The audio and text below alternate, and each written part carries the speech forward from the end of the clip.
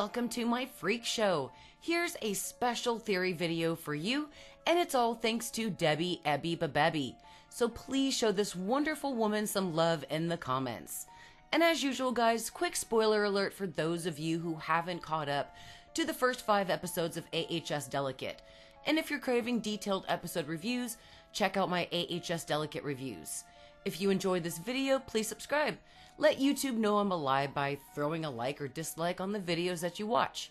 Your support means the world to me. And for those who want even more, please consider joining my Patreon or becoming a channel member, with levels starting at just a buck. So please stay tuned also for some awesome merch that is going to be dropping soon. In this video, we will discuss Debbie's theory that the liquid vitamin B12 is the new form of the black pill, also known as the Muse from AHS Red Tide. Okay, when I started this theory, I didn't see the same evidence as Debbie. This is her theory, so I wasn't necessarily looking for this information when I originally watched the first five episodes of AHS Delicate. However, once she told me her theory, I saw the show in a brand new light. I found many connections between the two, and in this video, you can watch the evidence I present and judge for yourself. Real quickly, let's review the Muse pill from AHS Red Tide. The mysterious black pill known as the Muse in American Horror Story Red Tide was created by the chemist. She worked for the US government for nine years trying to unlock the creative parts of the brain.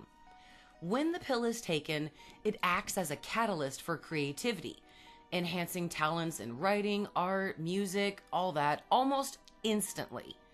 However, this newfound brilliance comes at a big cost.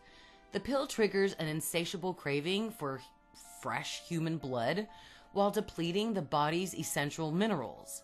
Normal food becomes ineffective, and personalities take a dark turn towards brutal arrogance with a single minded focus on their own greatness. Now, for those lacking natural talent, if they take the pill, the effects cause a rapid descent into physical and mental deterioration within about three days. And this transformation results in individuals becoming angry, feral, violent, and it eventually turns them into these mindless flesh phantoms, which I kind of refer to as vampires. Now, interestingly, these vampires pose no threat to those who have taken the pill. Despite the dangers, addicted individuals are driven by the success it brings, not the drug itself. So anybody can stop taking the pill at any time. There's no withdrawals, though their creativity does diminish. Okay, let's talk about the liquid B12 that Anna is ingesting in AHS Delicate. Anna's agent and friend Siobhan Corbin is giving Anna liquid B12. And as you guys know, B12 comes in various forms such as liquid, pill, and an inhaler. It is essential for physical energy and it keeps your blood and your nerve cells healthy. And it makes sense that Siobhan gives it to Anna, but she's not a doctor. And let's get to the meat, okay, of this theory. Let's get to the evidence. Anna has demonstrated symptoms of someone who has taken the Muse pill. Number one, Anna was once popular in her teens, but at 36 years old, her career has suddenly thrived. The same happened with Harry and everyone else in Red Tide. Once dead careers met resurgence, or careers suddenly take off after ingesting the pill. Number two, the dead raccoon called to Anna's stomach and eventually she ate it. Consuming raw flesh, it was huge for the vampires, like Harry, Alma, and the others that were in Red Tide. Number three, both Anna and the takers of the pill experienced hair loss. Number four, Anna's arrogance regarding her fame mirrors those who have taken the Muse pill. Number five, people addicted to the Muse are driven not by the drug itself, but by the success it brings. Anna's pursuit of an Oscar nomination or that Oscar award over a child mirrors this addiction to success. Number six, once she ingested the pill, Doris experienced a loss of time. Anna has also experienced a loss of time after ingesting the B12. Now, I realize not every single one of these symptoms match, you know, the original Muse pill in Red Tide. So let's go over those differences and how it reinforces the fact that Anna is taking a new type of black pill. Number one, Anna isn't necessarily as successful as Harry and the others from Red Tide. I mean, she isn't a successful movie, but she's reaching hard for that coveted Oscar award. If she took the pill, wouldn't she be a shoe in to win? Well, if she would have taken the Muse from Red Tide, that would happen. But this is a new version, an upgrade, so to speak.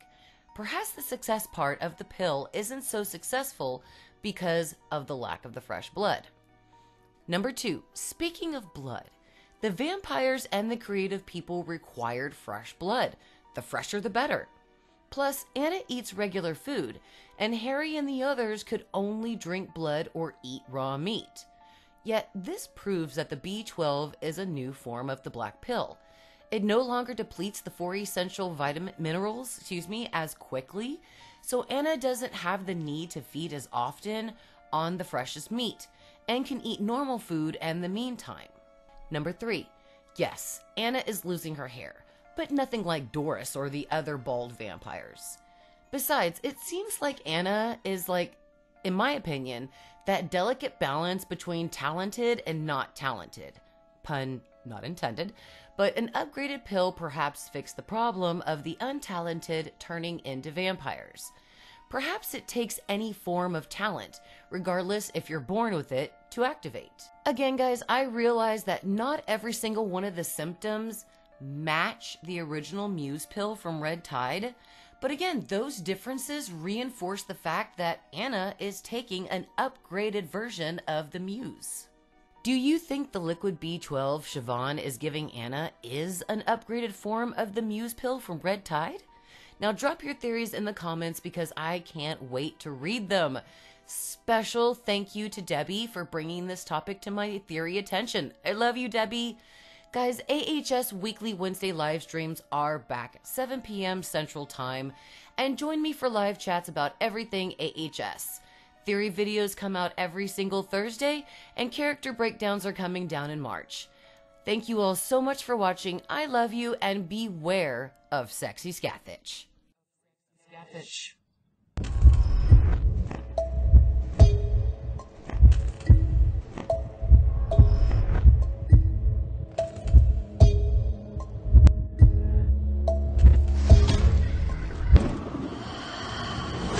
Know how hard my staff has worked for you? How many blowjobs were collectively given for you to even be considered? I mean, Derek's jaw may never recover, but